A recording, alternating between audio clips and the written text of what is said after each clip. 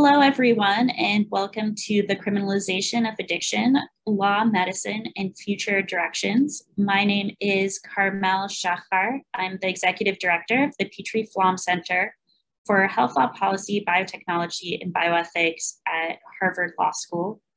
I am really looking forward to welcoming you all to this event that's really going to explore how the criminal justice system should approach and understand addiction. This is one of the events that is part of the project on law and applied neuroscience, which is a collaboration between the Petrie Flom Center and our wonderful colleagues at the Center for Law, Brain, and Behavior at Massachusetts General Hospital. Before we dive into the substance, a few housekeeping things. So, the first is that we not only welcome your questions, we really want them. We really want to engage with the thoughts that you may have and to have our speakers explore what you are interested in. So please do not hesitate to submit your questions at any time using the Q&A feature found in the meeting controls at the bottom of your screen. That's by far the best way to submit questions. You can also join the conversation or submit questions on Twitter. We're at Petrie Flom. Our colleagues at CLBB are at MGH And please use the hashtag LawNeuro. So if you use the hashtag LawNeuro, we're monitoring it. If it includes a question, we can pull it and put it into the Zoom Q&A feed. If you have technical issues, and I sure hope you don't, please email petrie-flom at law.harvard.edu. Again, that's petrie-flom at law.harvard.edu. That's going to be by far the best way to get our attention so that we can help get you back into the Zoom, back enjoying the content.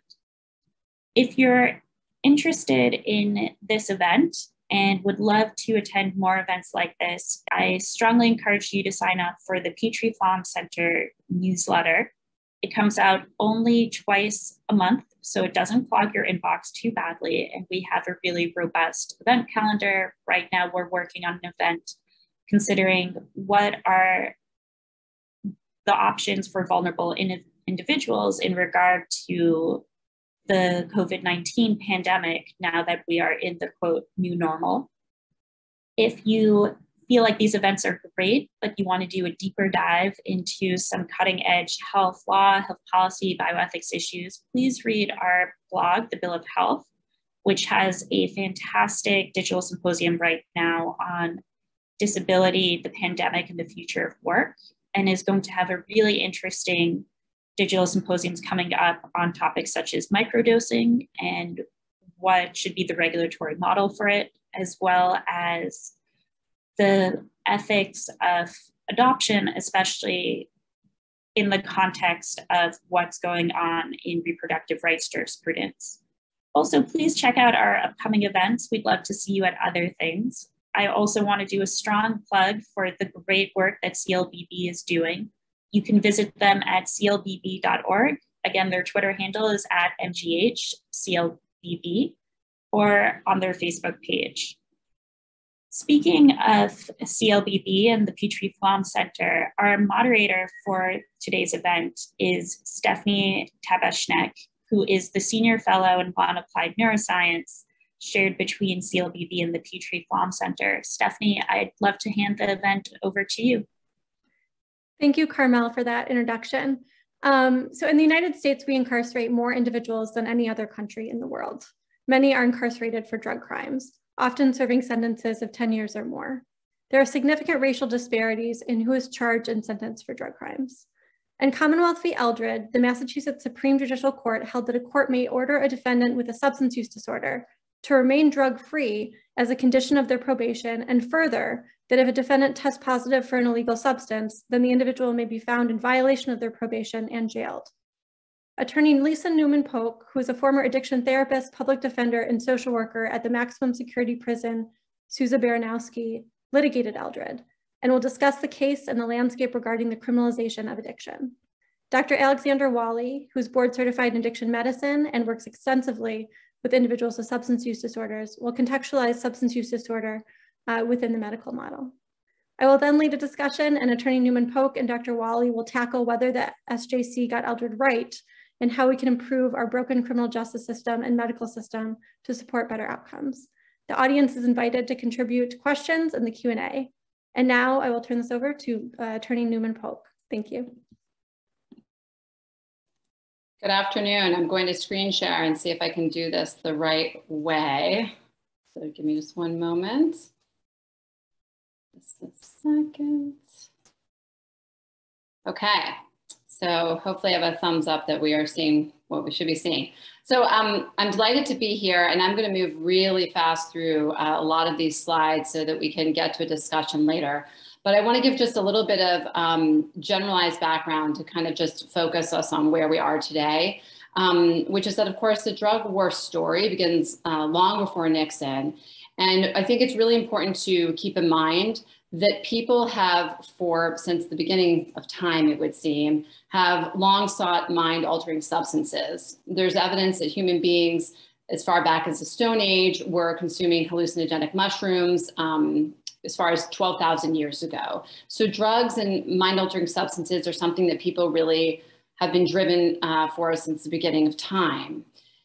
And when it comes to the laws in this country you know, it's not as if um, using drugs is like a law against humanity, like you might think that killing a person or maybe stealing from a person is. These are laws that we have decided as humans to enact. And in the United States of America, it's unsurprising that many of these laws, um, if not all, came about because of racist thinking. So without getting into the detail, because we don't have time, there's um, some general history indicating these various categories um, were the um, reasons that opium, cocaine, alcohol, heroin, marijuana were eventually made illegal in the US. So this is just a little snapshot here. You can see an old article saying the Negro cocaine fiends are a new Southern menace. So this is the type of media and propaganda that was out in our country. Here's another one, Mystery of the Strange Mexican Weed. American and Mexican authorities seek to curb growing use of the dread marijuana drug that stirs its victims to atrocious deeds of violence. So this is where our country, um, this is what was in the media when, when drugs were made illegal in this country. So of course, many of us will remember the Just Say No era. This is the, the era of my childhood. And I think it's really important to recognize that phrase, just say no, certainly indicates that uh, drug use is a choice. And I think it's much more complicated than that. I think we might get into that later, um, Alex and I in this presentation, but it's, uh, important to bear in mind what happened in the 80s, which is there was the 1984 Sentencing Reform Act, which removed federal judges' broad discretion and moved away from a thinking that prisons could actually rehabilitate people and was more about punishment.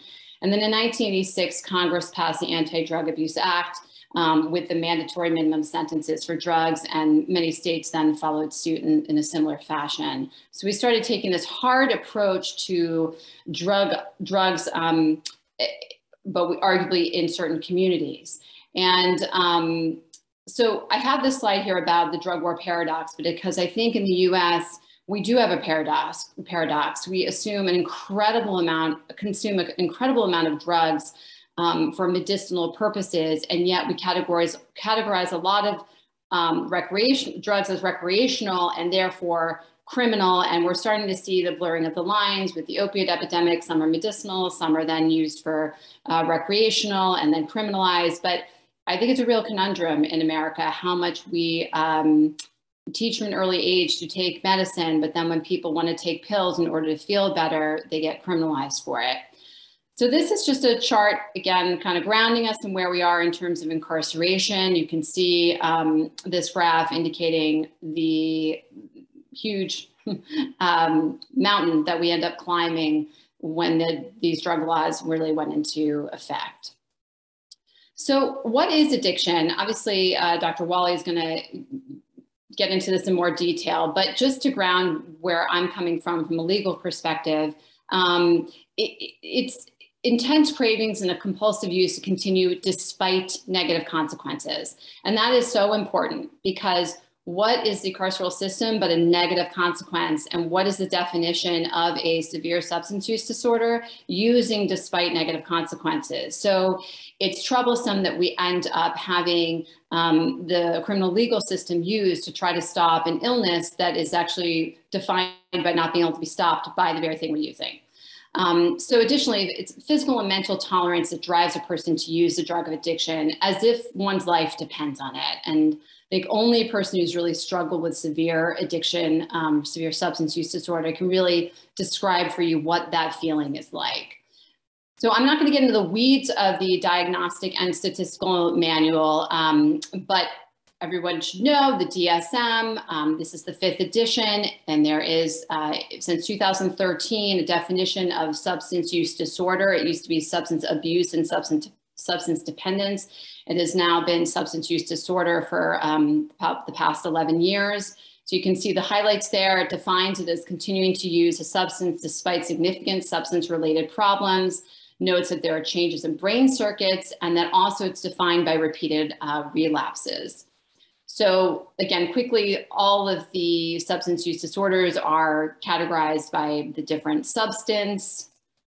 And there are 11 criteria. I'm not going to hold this long enough for you to read them all, but just know that it, two to three of these 11 get you a mild substance use disorder diagnosis, four to five would be moderate, and severe is six or more. And oftentimes, what we're dealing with with the person who's getting incarcerated for a relapse when they are in the court setting they're in that severe category and often even up to 11 of the criteria. So in 2016, the Surgeon General came out with this report, Facing Addiction in, the, in America. It was uh, the first of its kind, and it basically said scientific break, breakthroughs have revolutionized the understanding of substance use disorders and the massive um, report explained in detail what that science is, which I relied upon heavily uh, in the Eldred case. So not pausing too long, but you can see Surgeon General, American Medical Association, American Society of Addiction Medicine, and so on and so forth, all similarly define uh, what addiction is a chronic relapsing brain disease that's characterized by compulsive drug seeking use despite harmful consequences. Now, I just do want to uh, pause for a quick moment on the uh, term brain disease because I think that the term we get into semantics and can be controversial some people. So although the Elder decision talks about brain disease and the science is all the same, a more favored um, term these days by, by many in the field is to simply call it a medical condition because it sort of takes away, I think, the um, language that triggers people to think of it as being a, a, disease in ways that some people don't want to describe it as one. So, but it is a medical condition. I think it's unquestionable and the science is there to back it up. Risk factors for addiction are, are very real. Um, I highlight trauma there because that is the one I am seeing so frequently when it comes to people who are in the criminal legal system. Dr. Gabor Mate is a very famous doctor for um, highlighting the trauma connection he would say trauma is at the heart of all addiction. There are other respected practitioners who would disagree, but I will tell you from my perspective, in the criminal legal system, trauma is really at the heart, um, along with many of these other factors that all collide together. Uh, again, as sort of background leading to how I get to the Eldred case, what does it take to get people better? We need to rebuild the um, brain's broken dopamine system. And the um, the components that help people get better are positive relationships, exercise, mental health treatment, medications, constructive activities, a sense of purpose, accountability, self respect, growing into an adult brain. Um, these are obviously not all things that a doctor or a clinician can prescribe, but these are all things I think all of us can identify, help anyone feel better when they are struggling with any kind of mental health disorder. Um, the important thing, I'm going to skip ahead for one second, is that um, is this recovery is not one size fits all. It's um, it's a it's various components that um, come together for an individual to make it work. So just really quickly back here, in terms of addiction treatment, there are various different components from um, medication, evidence-based therapies, individual counseling, case management as somebody's dealing with homelessness or unemployment, mutual peer support groups. So that can be um, AA, recovery coaches, smart recovery, and then family therapy. So these are the types of things that help people get better.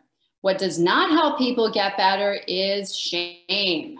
Feeling shame, feeling like a terrible piece of garbage, that is not what helps people get better.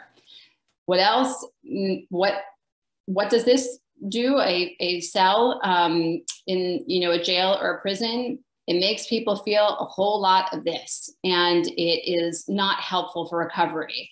But that is what we are so often doing to people who are having trouble stopping using substances when they're struggling with an addiction.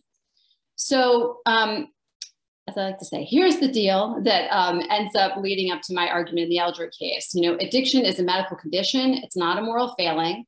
It requires treatment, not incarceration. Um, relapse is a common symptom of substance use disorder, and punishing people for relapse disrupts treatment. So I'm mindful of the time and um, how much I could say here, but let me just tell you the story of Julie Eldred because she is um, the face of this case, but she's just a face of a large, large, large group of people.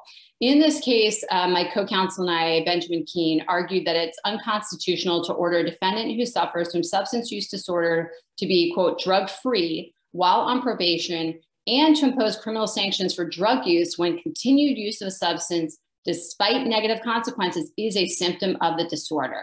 So, you know, what I was arguing was based on a lot of my work with people on probation and parole who were struggling with continuing to use, but they had a probation condition telling them that if they tested positive, they were risking very seriously that they were going to go back to jail. It would depend on the judge, but they could definitely be going back to jail.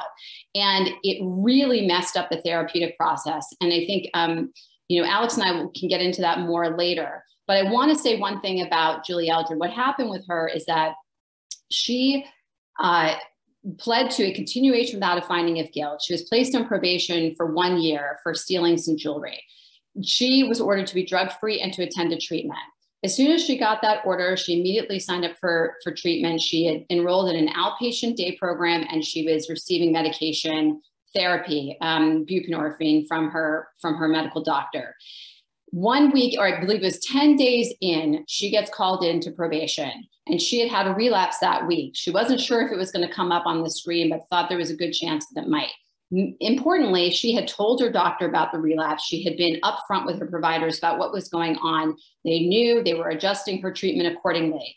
When she gets into probation, she takes the urine test, it comes out positive, and the probation officer says, I'm holding you. And she immediately gets um, uh, assigned me as counsel. And I, I was thinking myself, even at the time, I mean, she just started treatment.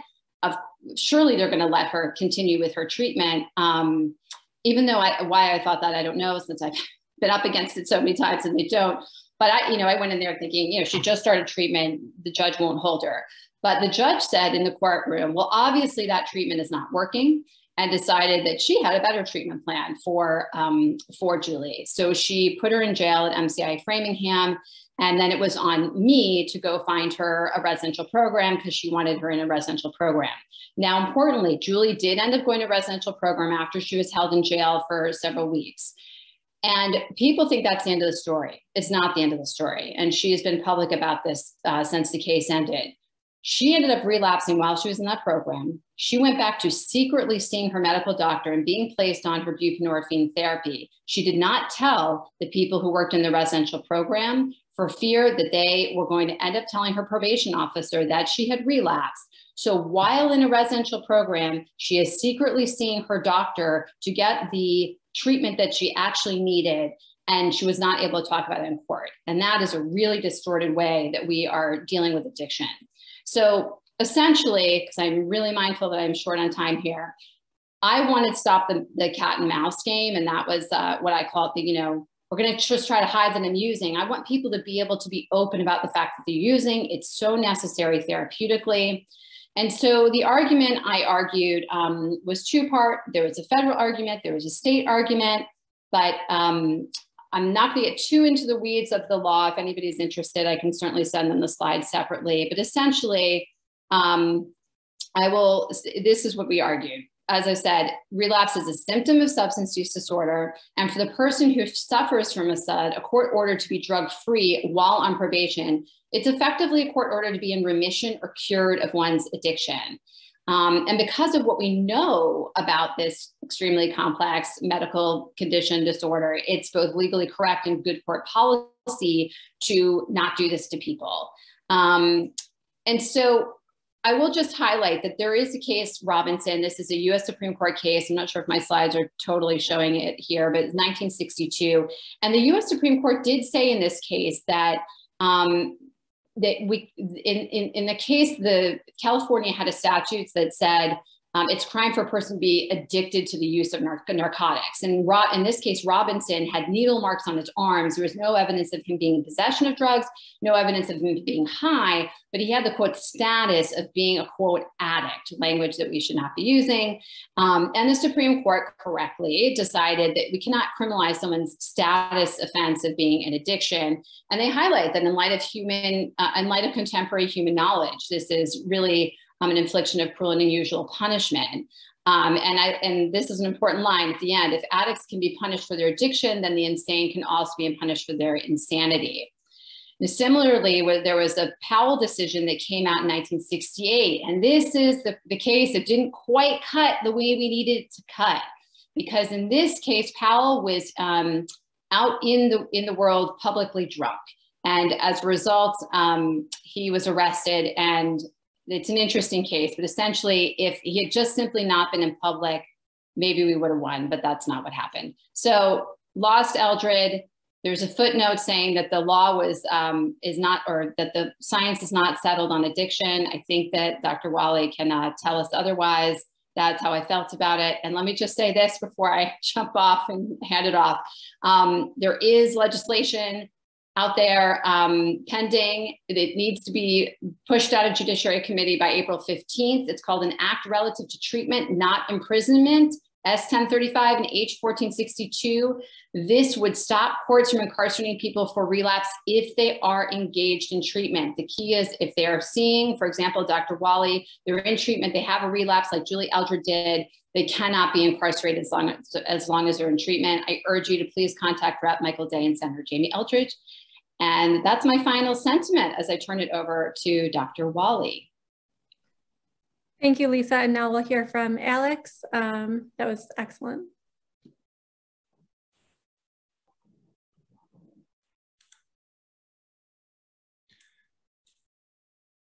Um, all righty.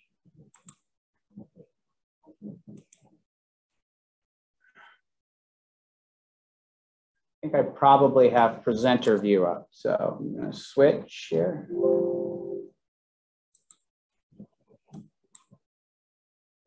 Stephanie, how does that look? It looks perfect. Okay. Um, wow. I am really uh, grateful to have been invited today. Um, and um, this is such a fascinating and important topic. Uh, I'm talking to you from Boston Medical Center today, where I see patients. My name's Alex Walley. I'm a professor of medicine at the uh, BU School of Medicine. I also play a role at the um, at the State Department of Public Health and the Bureau of Substance Addiction Services. Uh, what you see here on the slide are two um, uh, part uh, two communication campaign items from the Healing Community Study, which is a national effort to try to reduce opioid overdose deaths um, in four states. Uh, Massachusetts is one of them. And uh, these two ads are particularly focused on trying to destigmatize the treatment for opioid use disorder. Um, so um, I, uh, uh Lisa said that I was going to uh, give you a lot more detail on um, the science of addiction. I, I'm actually not because I think she did quite a good job. And if we want to uh, discuss uh, specifics around the science of addiction um, during the uh, uh, uh discussion period, I'm happy to. Um, I want to reiterate actually a number of things that she mentioned. We're focusing on um, criminalization today, addiction, the criminalization of addiction. This is a quote I heard once uh, from my good friend Leo Beletsky, who's a, a lawyer and a public health person uh, here um, at Northeastern. Um, he runs the Health and Justice Action Lab. Criminalization is the ultimate form of stigmatization. So stigma, I think, and criminalization are, are related um, and they are punishment uh, and they are inherently traumatic, particularly, I think, in the way they're set up for people who use substances in our system. Um, the intention of the judge in the Eldred case was to facilitate care or cure um, by uh, punishing for use. Um, and I think there is no, um, there's no evidence that that uh, will work. And in fact, it's probably um, counterproductive. Um, we heard Lisa explain how um, especially severe substance use disorder is considered uh, by, uh, I think there's consensus that it's a, it's a chronic um, medical condition. Um, the, the, another convention that we have throughout our society is that the opposite of addiction is abstinence or sobriety. And that is, I think, inherent in this concept of um, uh, expecting uh, Eldred to be uh, drug free. Um, but it turns out, I think, that uh, the opposite of addiction is not sobriety, it is connection. Um, so, really building up uh, the relationships um, and the functions that people have that have been, been damaged by um, the trauma before the substance use or the substance use itself. So, um, this question is compassion consistent with accountability actually was a question that came up in the last month's forum um, that was focused around um, uh, uh, pregnant uh, people um, and their parental rights in the setting of uh, substance use. Um, but I think it's useful here um, to think about. So by definition, people with substance use disorders use compulsively. You've heard that already, but I'm reiterating it. Despite adverse consequences to themselves, the consequences that people have who have a severe substance use disorder are very strong forms of accountability. They have um, consequences to their health, to their relationships, their housing in many cases, and their ability to work. Um, so when somebody presents to a court um, who has a severe substance use disorder, they've already faced a lot of accountability. Um, that starts from the beginning of somebody's addiction because it's very, it's, it's actually definitional as part of what addiction is. Um, and the state of the, the science is, is, that there's no marginal benefit of further accountability through incarceration or other criminal san sanctions. In my view, it is just criminalizing, stigmatizing, and traumatizing people um, punishing people with substance use disorder for having a substance use disorder is really beating up on people who are sick. So um, this, in the Eldred case, there's several examples of this pyramid of criminalization. So drugs themselves are criminalized and they're also stigmatized in our culture. Um, the drug use equipment, which wasn't an issue in Eldred case, but and and there's actually progress being made in many communities. Um, the this is the injection equipment, say for example, or there's been a controversy around safer smoking uh, equipment uh, federally. Um, they're highly stigmatized, the equipment, and in some cases, they're also criminalized.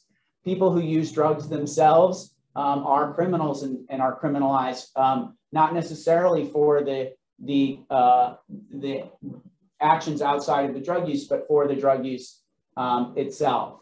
Um, the places where people use drugs. So this is the main barrier to the uh, development of a well well uh, um, a well um, evidenced public health intervention of supervised injection facilities or drug consumption spaces, also called overdose prevention sites. They are effectively criminalized um, in the United States now because the places where people use drugs are criminalized. That's an example, and therefore highly stigmatized.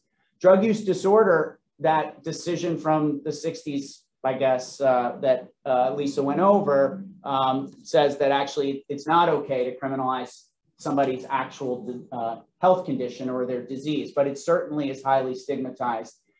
And then we see that uh, effectively treatment for drug use, um, which is the real irony, particularly as an addiction medicine provider, we know where the best evidence is for people with opioid use disorder in reducing their risk of overdose, for reducing their use of, of, of, of opioids, and for um, reintegrating or functioning in society is medication for opioid use disorder.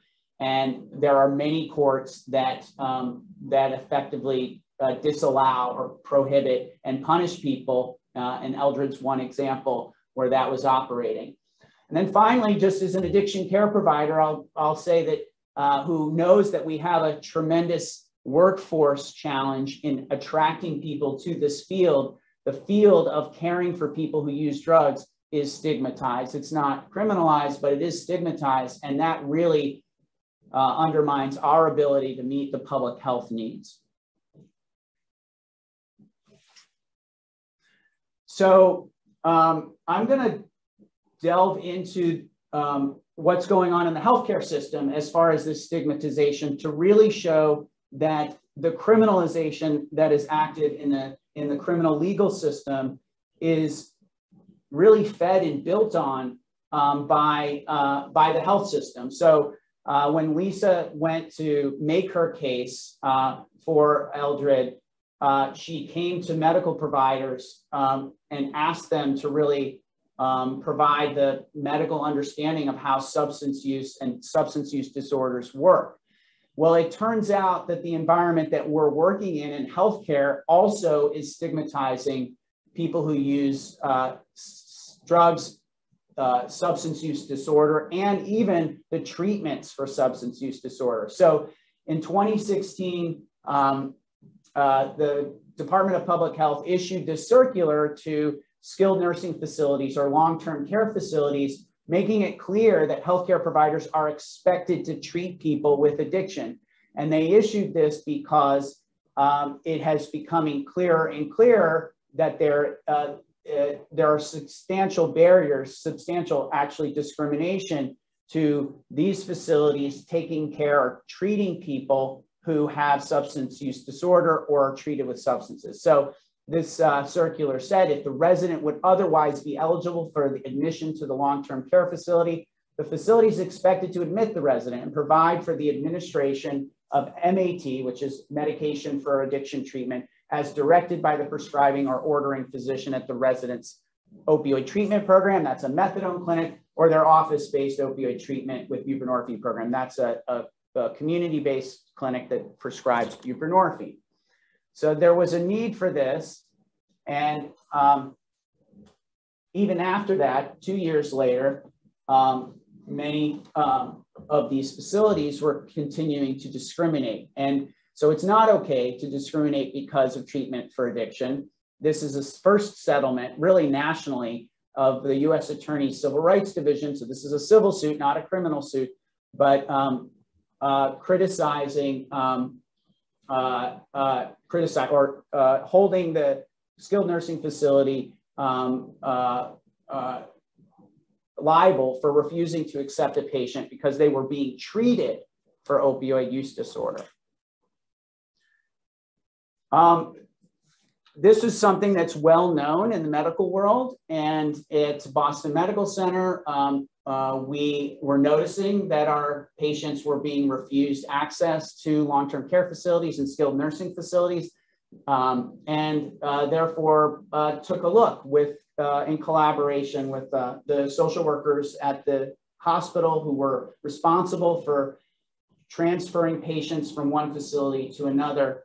And in the database that they were keeping in referring patients to these facilities, there was what is called, I've learned from my lawyer friends, facial discrimination. So what facial discrimination is explicit discrimination where um, it's not hidden. It's right out in the open and it's essentially confronts the person um, who is being discriminated against. And so um, in this study, we looked at uh, many thousands of referrals to these skilled nursing facilities and found that in 15% of the rejections from these facilities of people with opioid use disorder, there was explicit discrimination. That led to 37% of individuals who um, were referred to these institutions who had opioid use disorder had at least one discriminatory rejection, and 29%, so almost a third of the facilities were involved in, in issuing these discriminatory rejections. And this uh, pattern occurred both before and after the 2016 US Attorney's lawsuit. And so uh, what did the US Attorney do? They continued to prosecute or to continue to bring these suits and settle. Um, they're now up to their ninth facility that they've settled these suits with, um, uh, forcing them to agree to take patients um, who are receiving medication for opioid use disorder.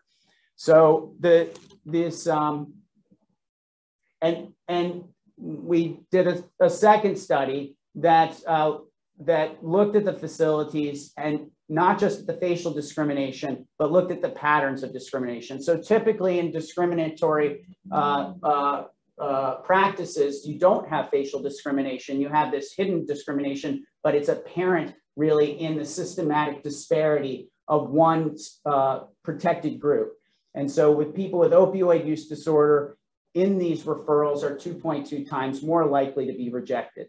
So this study goes further than the previous to demonstrate that referral rejection and acceptance inequities for people with opioid use disorder are widespread and not limited to just 15% of referrals um, to, for people with opioid use disorder in which there was explicit discrimination. Um, the post-acute Care facilities in this study disproportionately reject patients with opioid use disorder from medically necessary care despite public health guidelines and legal scrutiny. So this effort or this cultural um, uh, underpinning of criminalizing addiction really is not solely in the criminal legal system, it's also in the healthcare system. And it's not just about, uh, as uh, Lisa alluded to, not just about people who use drugs or uh, treatment for substance use disorder. It's also connected to race and ethnicity. There's an intersectionality there. And I just want to highlight that through this uh, data from the Department of Public Health, which shows overdose rates in all races, white, non-Hispanic, Latin non-Hispanic, Hispanic, and Asian Pacific Islanders over the last six, sorry, seven years.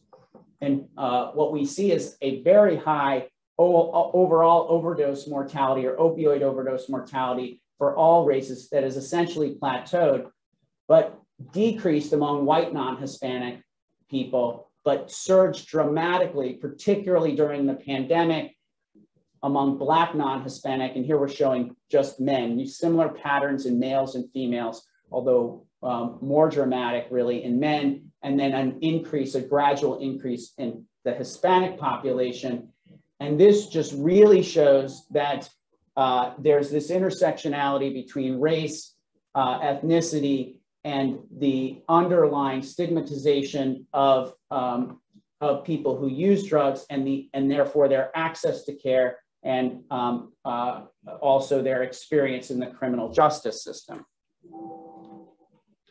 So future direction. So uh, to summarize, people with addiction are already punished and further punishment through criminalization and stigmatization make things worse. Stigmatization of people with addiction is explicit, it's systemic, it's systematic, it's structural, and it's pervasive throughout both our legal and healthcare systems. And we in law and medicine, the exciting part of this um, conference is really that we can come together. We continue to stigmatize and criminalize despite adverse consequences, perhaps with good intentions, but really with the opposite effect, I would argue. Compassion starts with knowing and connecting and caring. Uh, accountability free of shame and trauma can follow. Um, and law and medicine really we need our own compassion and accountability. So, um, similar to somebody who continues to use despite adverse uh, consequences, I think that both in law and medicine, we continue to stigmatize and criminalize despite adverse consequences. And so we're really not learning from, from our errors. Um, one plug uh, just before I end, is a podcast where we hit on some of these topics that's funded by HRSA um, that focus on American with Disabilities Acts and also the experience of people who've been incarcerated in their substance use, connecting care. Thank you. I really look forward to the discussion. And again, I'm grateful that I'm able to participate today. Thank you, Dr. Walley. That was excellent. Um, so I have a number of questions from the audience and some of my own questions. Uh, and my first question is, um, and if, uh, perfect. Okay, so the, my first question is, um, this panel is really unique. So Lisa is an attorney and social worker, Alex is a physician, and I'm a psychologist and attorney. Um, how do you think that communicating across disciplines can help improve how we treat people with SUDS? And what changes would you like to see in the legal system? Um, I guess I'll start. Uh, I think it's really imperative that we are all working together because all of this is so interdisciplinary in general. So the best thing for me that came out of the Eldred case is that I was I've been able to since then continue to work with um, medical and clinical providers with addiction and communicate about these issues to try to come up with best outcomes for the client. So as a general matter, I just think it's really important. But um, Alex, what would you like to add? Yeah, the the I, these both of these examples uh, that we talked about today are examples of of collaboration, and um, I think that um, each of the systems that we represent have major issues that need to be addressed. And I I actually think like in the in the case of uh, disability cases, like we really need law to come into medicine and fight for fairness. Um, and I think in the criminal legal system, they really need medicine to come in and make medical decisions rather than judges or probation officers making medical decisions. Um, so, you know, I, I think it's really necessary and um, it's, it's a, it's a struggle. Like it's not going to happen. I think one of the lessons from the Eldred case, is so inspiring. Um, the outcome was not what we had hoped, but uh, what Lisa has, has done and her colleagues and and uh, the uh, and Eldred herself have done is really shine a light on on the you know on the injustice really within the justice system. Um, and for us as physicians and medical providers, we need to we need to help and advocate uh, for our patients because they are facing the, this um, stigmatization and criminalization every day. Lisa, you referenced choice in your presentation. Can you talk about the role that choice plays in substance use disorders, both in terms of the first choice uh, to use and ongoing use, and how the focus on choice fits into the criminalization of addiction? And that's a question for both of you. Sure, and it's such a detailed question. Um, and I saw there were some questions about how do we stop children from using if we're not stigmatizing drug use, et cetera. And I and I and I, I don't, I'm not here to say that this is all easy and simple. Um, as a parent myself, I know it's complicated, but I think I think when it comes to choice, we as a society would do ourselves well to talk about everything in a really honest way. That is that some people are going to be addicted to certain substances and some are not going to be. So, alcohol, we've decided as a culture, is legal in the US, and there are a good portion of people who become addicted to it. So, if we just take alcohol as, as an example, um, that is culturally normalized, and we've experimented with prohibition, didn't go well, and I don't think anybody is wanting us to, um, to, well, maybe there's some people, but we don't have a movement to outlaw alcohol. And so a person has to make a choice. Am I going to end up picking up a, a beer or am I not? And I, again, I think the more education we do that's realistic with young people around the realities that um, certain substances are highly addictive and it is a good move to never try them ever. Certain substances, however, are not necessarily addictive and you may not know until you actually use it and therefore proceed with an awareness and um, some caution. And so, yes, there's an initial choice to pick up a substance and use it. However, so many things go into that. What is the cultural norm? Again, what is a person's trauma, traumatic background? What have you been taught about using medication and pills to resolve your issues? Are you a kid who is getting ADHD medication from the time you were seven and taking Adderall like Julie Eldred and feeling like that did nothing? And then the first day she tried an opiate because she didn't have any education about it. It just seemed like something fun that someone offered her. Suddenly she's, as she said, felt this like, oh, now I feel the relief I have been looking for my entire life that I have felt crawling out of my skin. And now this drug has now made me, this is the drug that actually I needed, not the one that was prescribed to me. So there are all these entryways into choice. But the thing about when somebody develops that severe substance use disorder and becomes addicted is that the choice really becomes no longer a choice. And so when we say, what's your drug of choice when someone's addicted, it's really what's your drug of addiction? Because the choice has really gone out the window and it's that compulsion. And so um, I think that's like sort of the primer I would like to give on it and why when we enter the criminal legal system, how are we going to now deal with that person who's got a compulsion that maybe, let's even take alcohol, for example, causing someone to behave in ways that are criminal, punching a hole in a wall, punching a spouse, driving under the influence those are things that are illegal. How are we going to help a person get out of doing that? And so, Alex, where do you want to pick up on the choice issue? Um, well, I, I, I take care of people with substance use disorder, and so um, I, when they come in and see me, when I'm individually with a, a, a patient, we're we're going to talk about the choices that they can make, and I always believe that they have the ability to make the best choice for themselves. Like that's part of me advocating for them as being humans and individuals. And um, and so, however, I know that if um, you know if I see 10 patients um, who you know come in on a given day, some of them are going to um, are going to uh, return to use. They're going to relapse. And when they do, they might um, overdose and, and die. Uh, and, and so even, so that, you know, I think there's a difference between seeing, uh, we don't want to give up on any one individual uh, and by saying, oh, you have no control over your, uh, over what you're doing.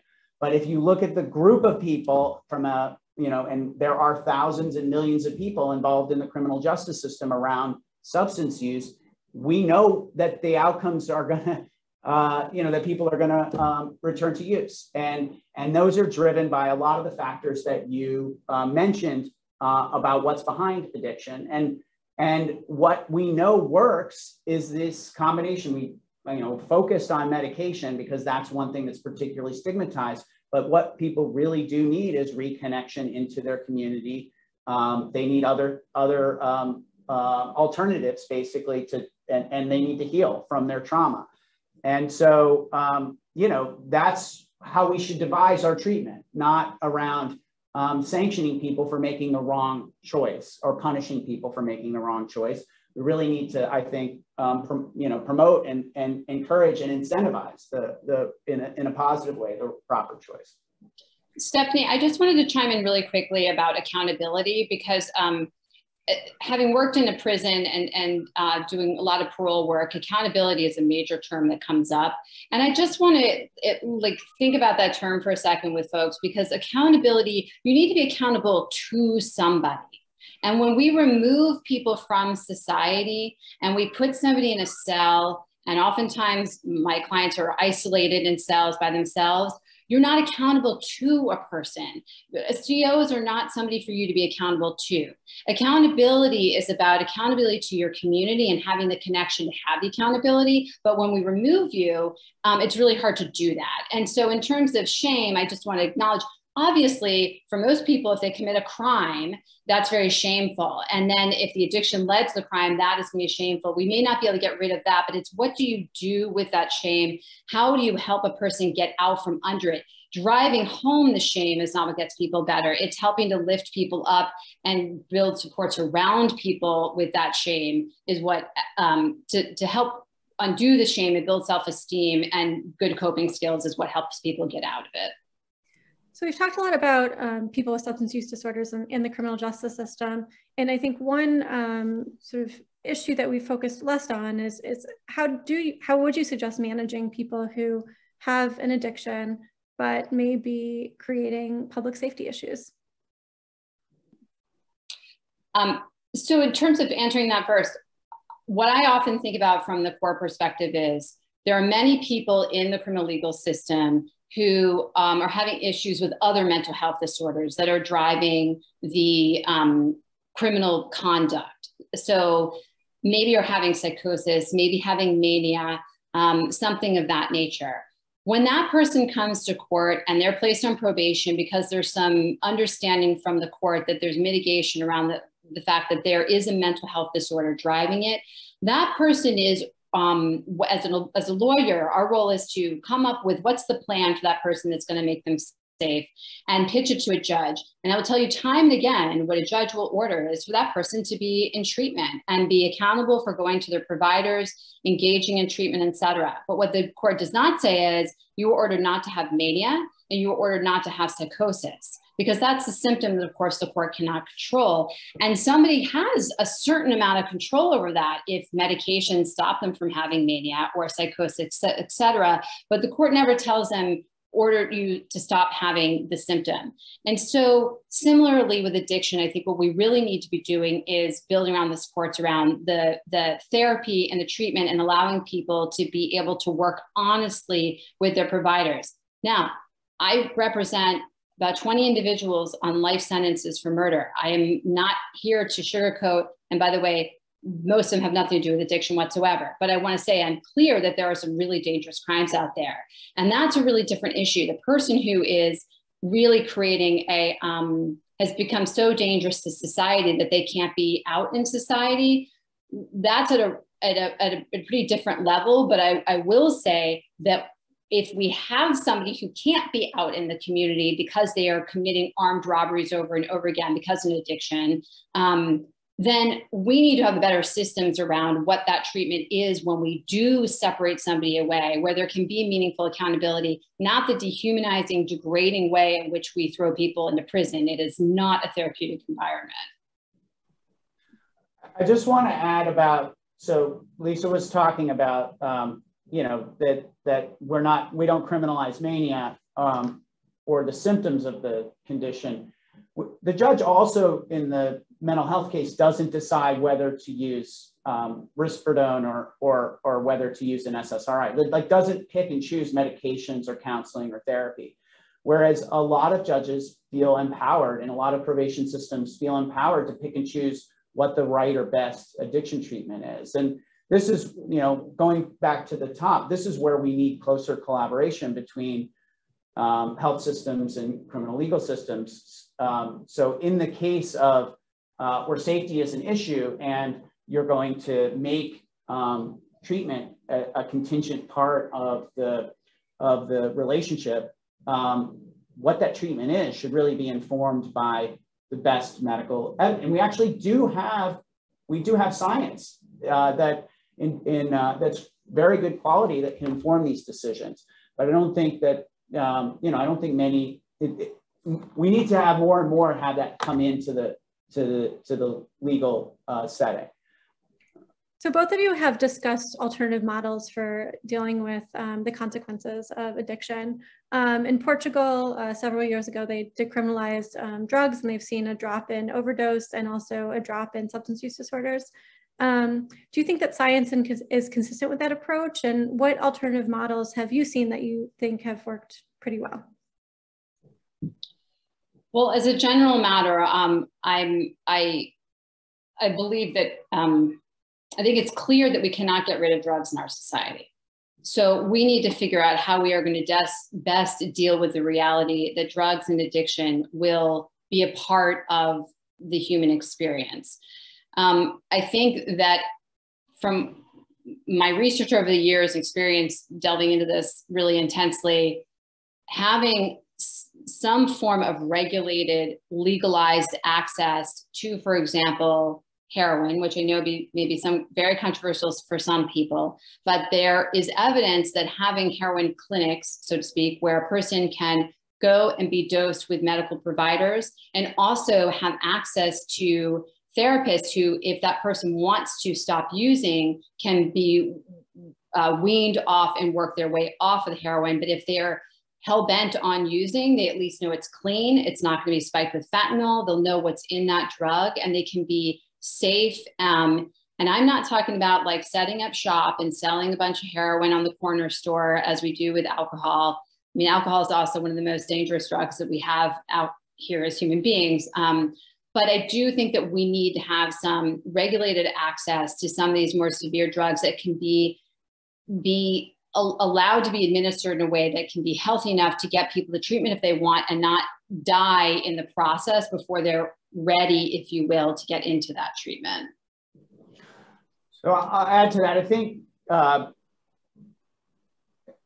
commercialization is is really the, in my view, the evil part of tobacco and alcohol uh, legalization. So these are legal, addictive, deadly substances. Um, and the real problem is that if you want to make money selling cigarettes, in a, you want to sell them to kids. And if you want to make money selling alcohol, you want to sell them to kids. And the reason why you want to sell them to kids is because that's when the brain is developing.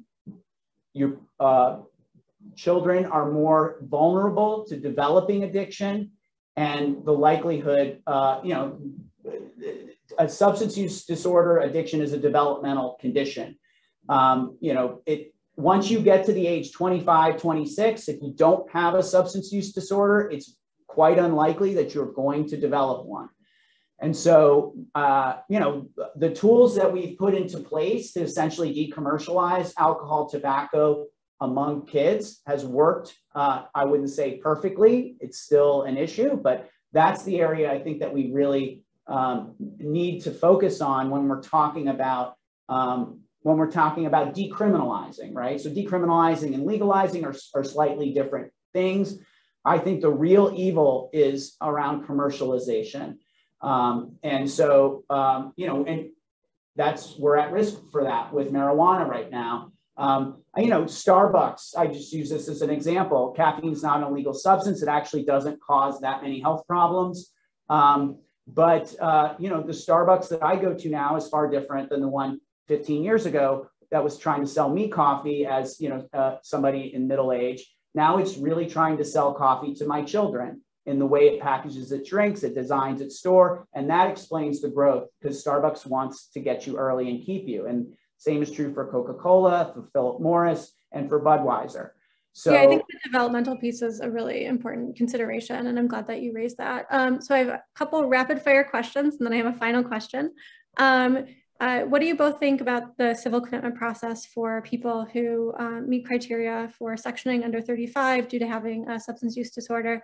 And any thoughts on drug courts? Uh, these are two questions from the audience. Okay. Um, look, Section 35, or one of the only, if not the only state in the country that does this, um, sending people to a jail environment, um, it, it, it, it just simply doesn't work the Department of Correction and jails should not be the place that we are um, warehousing people, and it is oftentimes warehousing. Some, you know, places a little bit different than others. But I do want to say, you have to be clear: when somebody is being sectioned, they're being brought to court in handcuffs. They're, you know, they're shackled. They're in a court proceeding, having everything public. It is an absolutely horrendous process, and I have seen just anecdotally with dozens of people in Section 35s um, I've never seen one work. I'm not saying there might not be somebody where it has worked, but it is extraordinarily rare. In terms of drug courts, um, I did work in a couple of drug courts for a period of time, and the research is actually that they are not as effective as I saw in the chat that somebody stated. That is not. Um, that is not actually what a lot of the research shows, especially in Massachusetts. A lot of money is put into them, and it's actually clear that the outcomes are not any better. Alex, so, sorry.